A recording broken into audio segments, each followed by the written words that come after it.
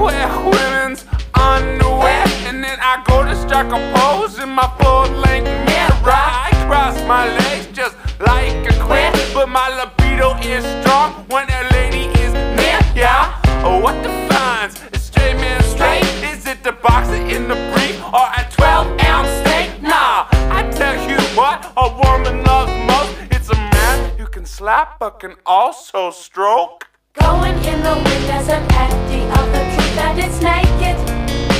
in the